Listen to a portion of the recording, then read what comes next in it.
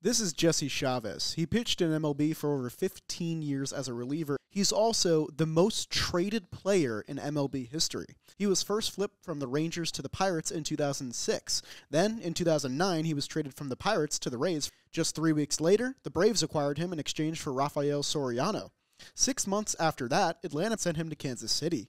Chavez wouldn't be traded again for five years, where in 2015, the Blue Jays traded for him and gave up a huge piece in Liam Hendriks. One year later, those same Jays flipped him to the Dodgers for Mike Bolsinger. He would get two more years of rest before the Rangers, who reacquired Jesse Chavez in free agency, traded him again, this time to the Cubs. He then signed on back with the Cubs in 2022, and then the Cubs traded him back to Atlanta for Sean Newcomb. Are you dizzy? I am.